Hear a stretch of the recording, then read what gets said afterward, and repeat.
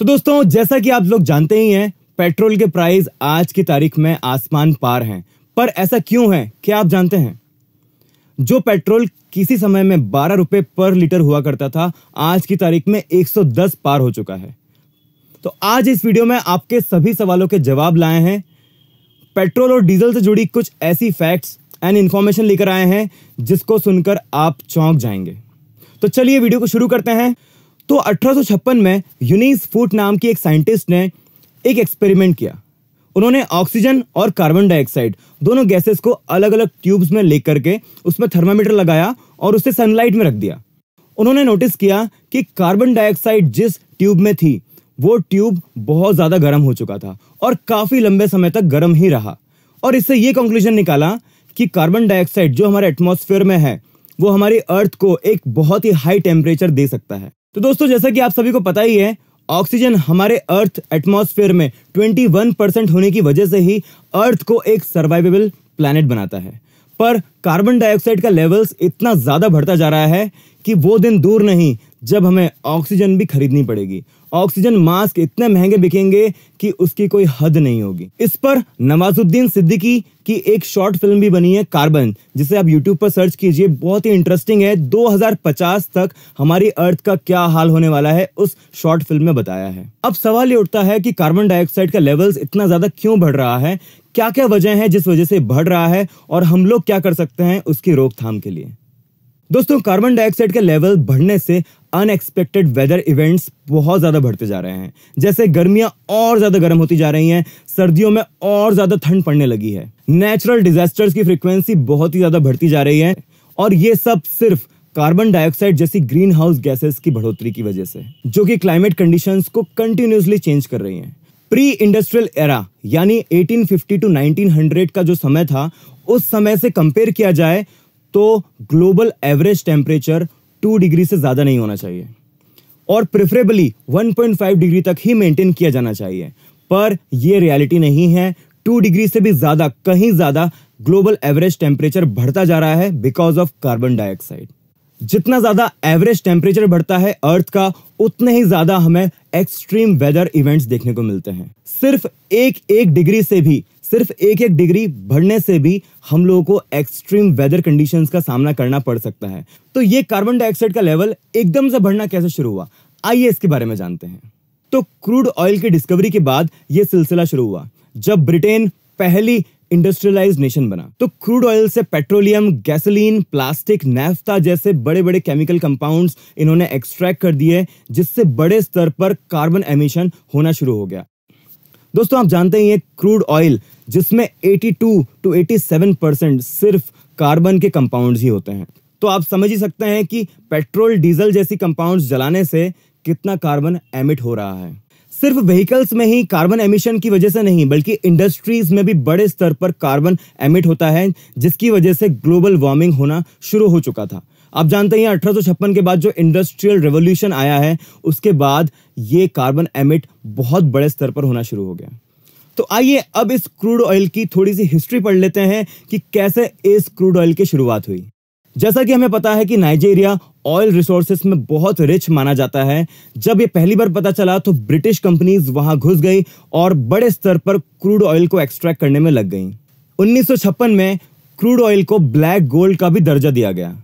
और उसी समय धीरू भाई अंबानी जैसे बड़े बिज़नेस टाइकून्स ने ऑयल रिफाइनरी सेटअप कर दी, जिसकी वजह से इंडिया ही नहीं, बल्कि पूरे वर्ल्ड में सबसे अमीर लोगों में शामिल हो गए। तो अब सवाल आता है कि आखिर ये क्रूड ऑयल है क्या और कहाँ पाया जाता है? आज से हज़ारों साल पहले अर्थ पर जब भी कोई नेचुरल डिजास्टर होता था तो डेड ऑर्गेनिजम्स अर्थ में दफन हो जाते थे। और टाइम के साथ साथ सन की हीट की वजह से ये फॉसिल्स क्रूड ऑयल में कन्वर्ट हो जाते हैं। ये ऑयल ज़मीन में कम से कम 3500 फीट की गहराई में पाया जाता है, जो कि ड्रिलिंग की एक्सट्रैक्शन प्रोसेस से निकाला जाता है। तो अब हम बात कर रहे थे नाइजीरिया की। आइए उसके बारे में कुछ और जानते हैं। दोस्तों, हम जानते हैं कि Nigeria one of the poorest country में से एक है, पर यह उस समय सच नहीं था। जब सबसे पहले खोज हुई नाइजीरिया में ऑयल के बड़े बड़े रिसोर्सेज पाए गए हैं तो वहाँ के लोगों में एक होप आई कि अब हेल्थ कंडीशंस में कुछ इंप्रूवमेंट होंगे और कुछ बहुत ही पॉजिटिव चेंजेस आएँगे। और इसी के चलते कुछ टाइम बाद नाइजीरिया इंडिपेंडेंट भी हो चुका था। नाइजीरिया से अब ऑयल दूसरी कंट्रीज़ में भी एक्सपोर्ट किया जाने लगा और ऑयल इन्वेंट करने वाला ब्रिटेन सबसे पहली इंडस्ट्रियलाइज नेशन बना। फिर जब ऑयल का एक्सट्रैक्शन होना शुरू हुआ, तब ये डिस्कवर हुआ कि ऑयल से रिलीज़ होने वाली गैसेस जिसे हम गैसोलीन भी कहते हैं जिसे ऑयल एक्सट्रैक्ट करते समय एक वेस्ट प्रोडक्ट समझा जा रहा था, वो हमारे लिए कितना बेनिफिशियल हो सकता है एज अ फ्यूल अब जानते हैं कि ऑयल ने ऐसा क्या किया जिससे मॉडर्न वर्ल्ड की शुरुआत हुई। आपको जैसे मैंने बताया कि ऑयल के एक्सट्रैक्शन में जो वेस्ट प्रोडक्ट निकलता है गैसोलीन उसे एज अ फ्यूल यूज़ कर सकते हैं। और इसी से शुरुआत हुई फ्यूल्स की। फ्यूल्स के इन्वेंशन से पूरा वर्ल्ड मोशन में आ गया। ऑयल की डिस्कवरी के बाद बड़े बड़े पावर प्लांट्स बने गैस स्टेशंस बने पेट्रोलियम एक्सट्रैक्शन प्लांट्स बने ऑयल रिफाइनरीज बनी।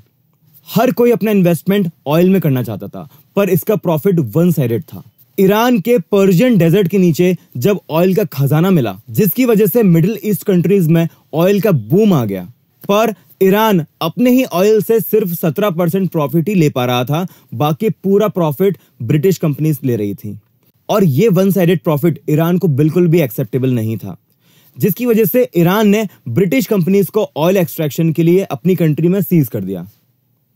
दोस्तों फ़र्स्ट वर्ल्ड वॉर की शुरुआत घुड़सवार सेना और घोड़ों से की गई थी and it was ended with tanks trucks and airplanes और इसी वजह से ब्रिटिश नेवी के लिए एक्सेस ऑयल पर कंट्रोल होना बहुत ज़रूरी हो गया था। इसलिए उन्होंने प्राइवेट इन्वेस्टर्स के सिंडिकेट बना दिए, जो पर्जिया के जैग्रोस माउंटेन में जर्नी के लिए ऑयल रिसर्च पर जाते थे।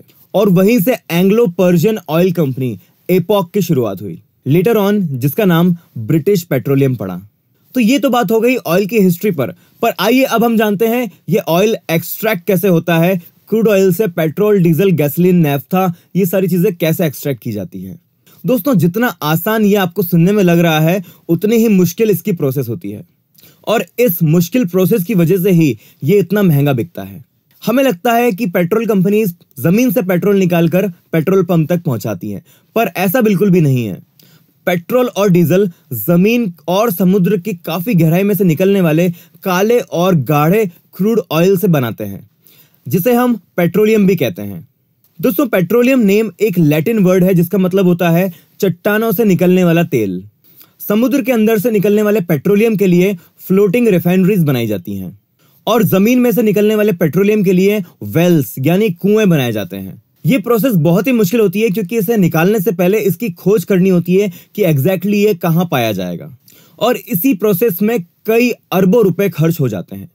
इस पेट्रोलियम में कच्चा तेल होता है, जिसे हम क्रूड ऑयल बोलते हैं।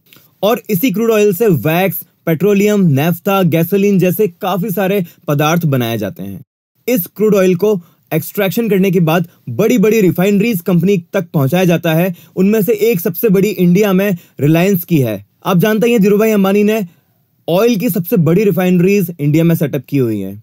और वहाँ इस क्रूड ऑयल को अलग अलग सिलेंड्रिकल कंटेनर्स में डाल करके अलग अलग टेम्परेचर पर हीट किया जाता है। दोस्तों, ये अलग अलग टेम्परेचर क्रूड ऑयल में मौजूद वेरियस केमिकल कंपाउंड्स को अलग अलग करना, यानी सेपरेट करना शुरू कर देता है वेपराइजेशन की प्रोसेस से।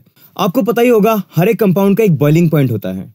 तो समझ लीजिए डीजल को पाने के लिए हमें उसे 260 डिग्री पर हीट करना पड़ता है और 40 डिग्री पर हमें पेट्रोल मिलता है। इस पूरी प्रोसेस को डिस्टिलेशन प्रोसेस भी बोलते हैं, जिसके ऊपर हम पूरी डिटेल्ड वीडियो आपके लिए बहुत जल्दी लेकर आने वाले हैं। उसमें आपको हम लोग स्टेप बाय स्टेप समझाएँगे कि आखिर डिस्टिलेशन होता कैसे है, उसमें हम लोग क्या क्या डिस्टिलेशन कर सकते हैं क्या क्या एक्सट्रैक्ट कर सकते हैं। और इसी डिस्टिलेशन की प्रोसेस की वजह से इसकी कीमतें अलग अलग होती हैं। जिन देशों में इसके ऑयल रिजर्व्स होते हैं, वहाँ ये सस्ता पड़ता है और जिन देशों में ये ऑयल रिज़र्व नहीं होते हैं, वहाँ ये महँगा पड़ता है। आज दुनिया भर में इसकी कीमतें अलग अलग हैं, क्योंकि मैन्युफैक्चरिंग के साथ साथ गवर्नमेंट इस पर टैक्स भी बहुत भारी भरकम लगाती है। इंडिया में सेंट्रल एंड स्टेट गवर्नमेंट मिलकर लगभग 60 प्रतिशत टैक्स इस पर लगाती है। इसके अलावा भी इसकी कीमतें हमेशा बढ़ती ही रहेंगी, क्योंकि ये एक नॉन रिन्यूएबल सोर्स है, यानी इसको एक बार यूज़ कर लिया तो ये खत्म, दोबारा यूज़ में इस्तेमाल में नहीं लिया जा सकता। दोस्तों एक्सपर्ट्स कहते हैं कि जितनी स्पीड में हम क्रूड ऑयल को यूज़ कर रहे हैं पेट्रोल और डीजल को यूज़ कर रहे हैं, उतनी ही स्पीड में ये करीब 40 से 50 सालों में दुनिया में खत्म हो जाएगा। किसानों के ट्रैक्टर से लेकर फाइव स्टार के जनरेटर तक हर जगह पेट्रोल डीजल यूज़ होता ही है। यानी कि डीजल और पेट्रोल आपके पीछे और आप डीजल और पेट्रोल के पीछे और इसीलिए इस पूरे टाइम को हम लोग ऑयल एज भी बोल सकते हैं। और इसी वजह से आज के टाइम में Iran, Kuwait and Saudi Arabia जैसे देश सबसे अमीर देशों में माने जाते हैं। क्योंकि सबसे ज़्यादा ऑयल रिजर्व्स भी इन्हीं देशों के पास हैं। दोस्तों, अब आप समझ ही गए होंगे कि वर्ल्ड की इकोनॉमी ऑयल पर क्यों बेस्ड होती है। क्योंकि एक सबसे बड़ा एनर्जी का रिसोर्स है। आज भले ही सोलर एनर्जी आ गई हो, पर इसकी प्रोडक्शन में भी कहीं ना कहीं पेट्रोल डीजल जैसे फ्यूल यूज़ होते ही हैं। तो अब आपको पूरी बात समझ में आ गई होगी कि पेट्रोल और डीजल के प्राइसेस लगातार क्यों बढ़ रहे हैं, इसकी पूरी मैन्युफैक्चरिंग की प्रोसेस कहाँ से इसकी शुरुआत हुई, ये सारी फैक्ट्स आपको मैंने बताए।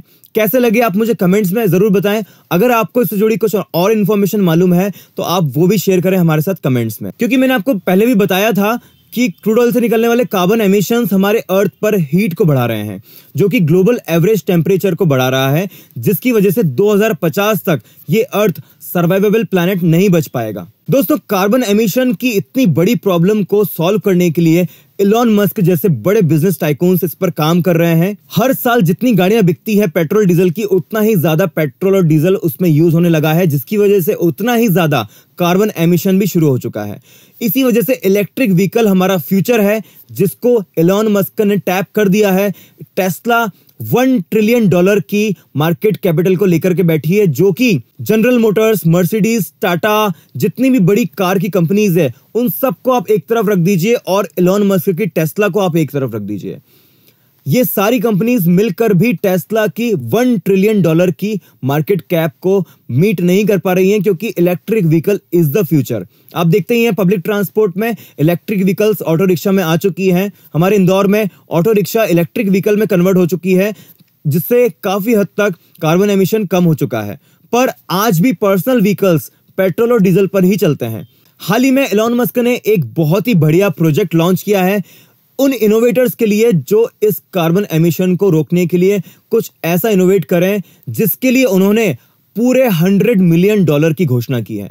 सही सुना आपने? हंड्रेड मिलियन डॉलर अगर आपने कुछ ऐसा बढ़िया इनोवेट कर दिया जिससे कार्बन एमिशन को रोक सकें या कम कर सकें तो इलॉन मस्क आपको हंड्रेड मिलियन डॉलर देंगे। अगर आप इस बड़ी प्रॉब्लम को सॉल्व करना चाहते हैं अर्थ को सर्वाइवेबल प्लैनेट बनाना चाहते हैं तो आज से ही जुट जाइए इस बड़ी प्रॉब्लम को सॉल्व करने के लिए कुछ ऐसा इनोवेट करके लाई है जो इस कार्बन एमिशन को रोक सके। दोस्तों इलॉन मस्क की इस पूरे प्रोजेक्ट की डिटेल्स उनकी वेबसाइट पे मौजूद है, जिसके लिंक मैंने डिस्क्रिप्शन में दे दी है। सब्सक्राइब कर लीजिए मैप्ट्रॉन्स चैनल को लाइक कीजिए इस वीडियो को और शेयर कीजिए उन लोगों तक जो आपसे पूछते हैं कि भाई पेट्रोल के प्राइसेस इतने क्यों बढ़ गए हैं? उनको भी मालूम चलना चाहिए इस फैक्ट्स इस इंफॉर्मेशन के बारे में। Thank you and keep watching Maptrons channel